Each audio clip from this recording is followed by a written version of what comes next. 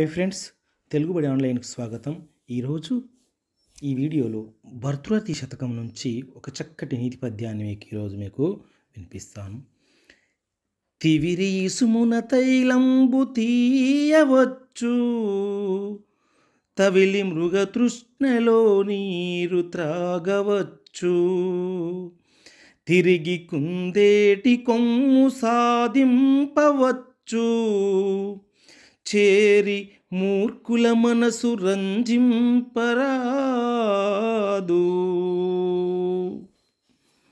ఈ యొక్క పద్యభావాన్ని ఒక్కసారి పరిశీలించినట్లయితే ఏదో ప్రయత్నము చేత ఇసుక నుంచి చమురు తీయవచ్చును. అలాగే ఎండమావులలో సైతం నీరు సంపాదించి దాహం తీర్చుకోవచ్చు.